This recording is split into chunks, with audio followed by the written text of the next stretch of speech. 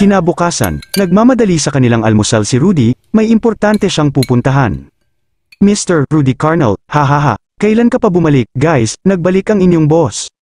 Natuwa ang mga empleyadong matagal na sa publikasyong iyon, magkakasama na sila simula sa paglalabas ng kanilang unang pahayagan. Hanggang magpaalam nga sa kanila ang kanilang editor na si Rudy. Hindi maaring kalimutan ni Rudy ang kanilang mga tauhan na kasama sa pagtatatag ng negosyong iyon, kaya inilabas niya ang kanyang mga pasalubong sa mga ito. Oh, bahala na kayo riyan, pasensya na at yan lang ang kaya kong bitbitin sa inyo. Nako, sir, okay na okay ito, makakatikim din kami ng mga pagkain galing sa States. Sa opisina, nakita ni Alfred ang biglang pagseryoso ng mukha ng kumpare, inaanak ni Rudy ang panganay ni Alfred. Kumusta na, pare, alam kong uuwi kayo pero di ko inaasahan na agad-agad. Naikwento ko na sa iyo nang tumawag ako na, unti-unting bumabagsak ang negosyo namin doon, hindi ko napigilan, pare, muntik ko nang mapatay ang bayaw kong Amerikano. Bakit anong ginawa mo, sinugod ko sa bahay nila at, binigwasan ko kahit mas malaki siya sa akin, hindi ko siya uurungan. Talagang nadala mo sa States ang tapang mo rito sa Pinas noong nagko-cover pa tayo sa mga police station, hindi ko makakalimutan ng madakma mo ang snatcher na tumatakbong pasalubong sa atin, ang bilis mong manuntok.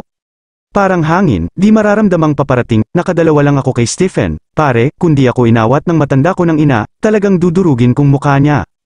So, anong nangyari, nagdemanda ba, pinahuli ka ba sa mga pulis?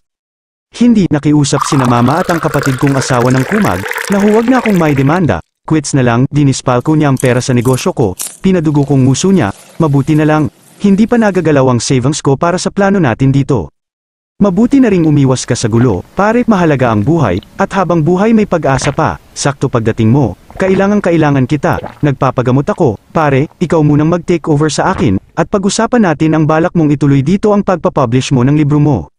Salamat, ilang koleksyon ng mga librong naisulat ko roon ang naiuwi ko, kasama sa na-forfeited ang daan-daan. Okay lang yon, malay mo makabangon ka uli rito sa atin. Bigla, natahimik si Rudy, nawala ang sigla sa mukha nito, tila niyanig ang ulo, nakita niya ang kwadrong nakadikit sa pader. Ang larawang nasa kwadro ay nasa petsa kung saan naganap ang kahindik-hindik na pangyayari sa kanyang pamilya. At kung ano man ang tumatakbo sa kanyang utak, alam iyon ni Alfred. Gusto mo bang itanong ang tungkol sa lalaking yon? Umangat ang ulo ni Rudy, nagkiskisan ang mga bagang. Muntik ko nang makalimutan, ano talagang nangyari sa hayop na yon, pare, Siguradong nagkita na sila ng amo niya sa impyerno. Sumeryoso ang mukha ni Alfred, pare, ganito, nagkaroon nga ng sunog sa bilibid, at may mga natustang preso, sinasabi nilang isa siya sa naabo. Napaangat ang ulo ni Rudy, sinasabi, hindi sigurado, pare?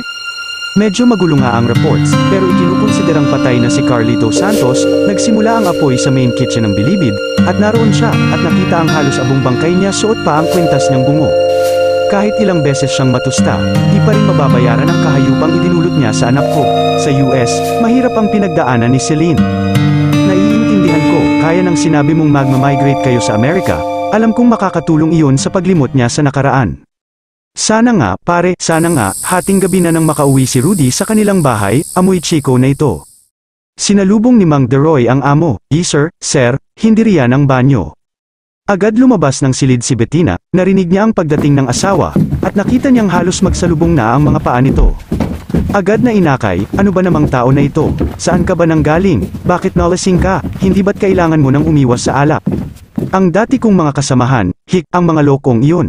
Niyaya nila ako sa bar, don't worry, han, hindi ako nang babae, hanggang inom lang kami. Tinulungan ni Mang Deroy si Bettina na mayakyat sa kanilang silid si Rudy. Lihim na napapangiti ang matanda sa pagiging madaldal ng amo niyang lalaki. Alam nyo, wala pa ring pagbabago, ang mga reporter, gang ngayon, mambuburot pa rin, hit. Nag-alala si Bettina, paano ito nakauwi, hindi pwedeng magmaneho ang nasa ganitong sitwasyon. Sinabi ni Mang Deroy na hindi si Rudy ang nagmaneho ng kotse nito pa uwi. Inihatid siya ng driver ni Boss Alfred, Betty, ma'am, iyon ang nagmaneho, taga rito rin pala yon. Bagsak ang katawan ni Rudy sa kama, naghihilik agad ito, kumuha ng basang tuwalya si Bettina at pinunasan ito, sa kanya binihisan. Kinabukasan, ah, ang sakit ng ulo ko, hawak pa ang kanyang ulo habang bumababa sa hagdanan si Rudy. Sinalubong ito ni Bettina, inabot ang pambahay na tsinelas nito, at bagong lab ang tuwalya para sa pagligo ng asawa. Pero kumain ka na muna, alas 10 na, matapos makakain, nakita ni Rudy na nasa bakuran ang magkapatid na Celine at Kathy, Kasama ito ni Aling Gloria na dinidiligan ang mga tanim. Tinabihan ang asawang nakatayo, nanonood sa kanila. Tuwang-tuwa ang dalawa sa ilang mga tanim na gulay ni Manang Gloria, wala kasi sa Amerika niyan, matyaga talagang magtanim ang mag-asawa. Kaya ba, kahit sinabi mong baka hindi na natin sila mapasahuran ng maayos, hindi pa rin sila umaalis sa lumang bahay na to. Lumamlam ang mukha ni Bettina, umupo sa solidong oak garden bench sa kanilang patio, sumunod si Rudy. Ang sabi ni Manang Gloria, hindi nila tayo iiwan. Dito na raw sila tumanda sa atin, simula kina mamang at papang nang mamasukan sila, silang nag-alaga sa akin at kay Celine. Hindi nakakibo si Rudy, halos kamag-anak nang ang turing sa kanila ng mag-asawang Gloria at Deroy, kaya gayon din ang ipinapakita nila sa mga ito.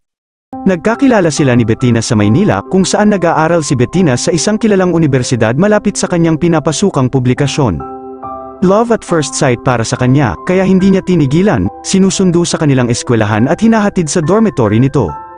Nang sagutin siya ni Bettina, ipinakilala siya nito sa mga magulang na naninirahan sa labas ng Maynila, at iyon ang kanilang naging tahanan simula noon.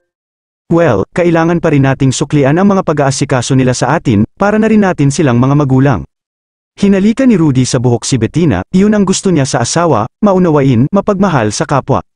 Subalit napawi ang ngiti ni Rudy, wala na ang magkapatid sa garden, at nag-iisa si Aling Gloria sa pag-aasikaso sa mga tanim. Nakaramdam ng matinding kaba, mabilis na pinuntahan nito ang matandang yaya. Galit nasaan na ang mga bata, manang Gloria, nabitiwan ng matanda ang hawak-hawak, ay, nasaan nga ba ang mga bata? Nataranta ang matanda, hihi hindi ko alam, kanina lang nandito, hindi ba pumasok na sa loob? Alam ni Rudy na hindi pumasok sa loob ng bahay ang mga anak dahil tiyak na dadaan sa kanilang harapan ang mga ito, nang mapansin, may mga nilalang na kumikilos sa labas ng kanilang gate. Galit na tinungo ito ni Rudy, ngunit nabigla siya sa kanyang nakita.